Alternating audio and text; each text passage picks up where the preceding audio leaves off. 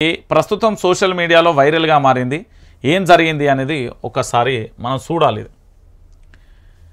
గ్రామస్తుడి తల పగలగొట్టిన మంత్రి పొన్న అనుచరుడు కబ్జా చేశారని ప్రశ్నించిన వారిపై రాడుతో దాడి. పగిలిన మల్లికార్జున్ తల మరో ఇద్దరికి గాయాలు. తీవ్ర గాయాలతో హాస్పిటల్లో చేరిన బాధితుడు. రాష్ట్రంలో ఇందిరమ్మ రాజ్యం కాస్త రౌడీ రాజ్యం. కబ్జాల రాజ్యంగా మారబోతుంది. మంత్రుల అనుచరులు రెచ్చిపోతున్నారు. ప్రభుత్వ భూమి కబ్జా చేశారని ప్రశ్నించినందుకు మంత్రి పొన్నం ప్రభాకర్ అనుచరుడు స్థానిక స్థానికుల తలలో పగలగొచ్చిన ఘట్టాన జమ్మికుంటలో చోటు చేసుకుంది. ఇక కరీంనగర్ జిల్లా జమ్మికుంట మున్సిపాలిటీ పరిధిలోని రామన్నపల్లి మూడో కౌన్సిలర్ భర్త మేడిపల్లి రవీందర్ ఒక్కసారి ఈ విషయాన్ని మీరు అందరూ కూడా చూడాలి. ఇది ప్రస్తుతం ట్రెండింగ్లో ఉన్న టాపిక్. తెలంగాణలో ఇంద్రమ్మ రాజ్యం కాదు రౌడీ రాజ్యం నడుస్తున్నది అనేది ఒక రకంగా చెప్పాలంటే చర్చనీయాంశంగా కూడా మారుతున్న పరిస్థితి. ఇగో ఇక్కడ ఎవరు పాడి కౌశిక్ రెడ్డి వాళ్ళని పరామర్శిస్తున్నారు రాడ్డుతోని ఒకరిని ఈ భాగంలో ఇంకో ఇద్దరిని ఇష్టానుసారంగా కొట్టిర్రు. ఒకసారి ఈ విషయాన్ని కూడా చదువు ఇక సర్వే నెంబర్ నాలుగు వందల ఏడులో అక్రమంగా నిర్మాణం చేపడుతున్నారని ఎలాంటి అనుమతులు లేకుండా బోరు వేస్తున్నాడని అదే గ్రామానికి చెందిన మర్రి మల్లికార్జున్ రవిప్రసాద్ మేడిపల్లి రమేష్ ఆరోపిస్తున్నారు.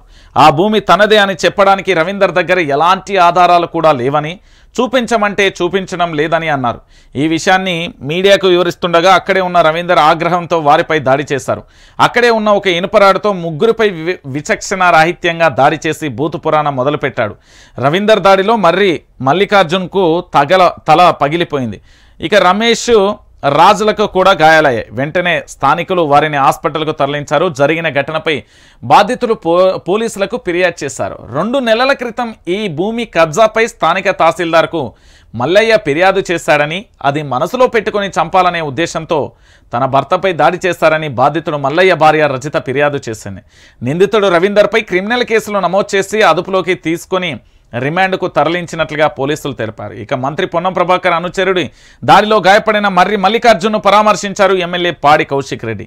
ఈ ఘటనకు సంబంధించిన వివరాలు అడిగి తెలుసుకున్నారు. కబ్జా భూమి ప్రశ్నించిన వారిపై కాంగ్రెస్ నేతల గుండాల మాదిరిగా దాడి చేశారని మండిపడ్డారు. దాడికి పాల్పడిన రవీందర్ను కఠినంగా శిక్షించాలని కూడా డిమాండ్ చేసిన పరిస్థితి కనబడుతుంది. సో ఏమైపోయింది తెలంగాణలో? అన్నా మార్పు మార్పు మార్పు అని నా లొట్టపీస్లో మార్పు తీసుకొచ్చి ఇవాళ తలలు పగలగొట్టుకునే కాడికి తెచ్చుకుంటుంది ఇందిరమ్మ రాజ్యం కాదురా నాయన అది రౌడీ రాజ్యం వస్తున్నది. చెలరేగిపోతున్నది ప్రజాస్వామ్యం. ప్రజల చేత ప్రజల కొరకు ఎన్నుకోబడిన ఈ ప్రభుత్వంలో స్వేచ్ఛ ఎక్కడ? ఇక్కడ ప్రజాస్వామ్యం ఎక్కడ? ఏదైనా మాట్లాడొచ్చు ఏమైనా చేయొచ్చు. అయ్యో ఇగో మీ ప్రజాస్వామ్యం ఇంత అద్భుతంగా ఉంది. కాంగ్రెస్ పార్టీ ముఖ్యమంత్రి రేవంత్ రెడ్డి గారు మీ పార్టీ యొక్క ఘనత ఇది. మీ పార్టీకి సంబంధించి ఎట్లా నడుతుంది ఏం కథ అనేది ఆలోచించుకోరు మీరే. మా పార్టీ అద్భుతం అని కదా. మా మీ పార్టీకి సంబంధించి ఎంత అద్భుతంగా చేస్తున్నారు ఏం కథ? ఇక తలలు బగలగొచ్చుకునే పరిస్థితి వచ్చింది. ఇక నిన్ను ఏం చెప్పాలి? ఏం కథ? ఇక మీ పరిస్థితి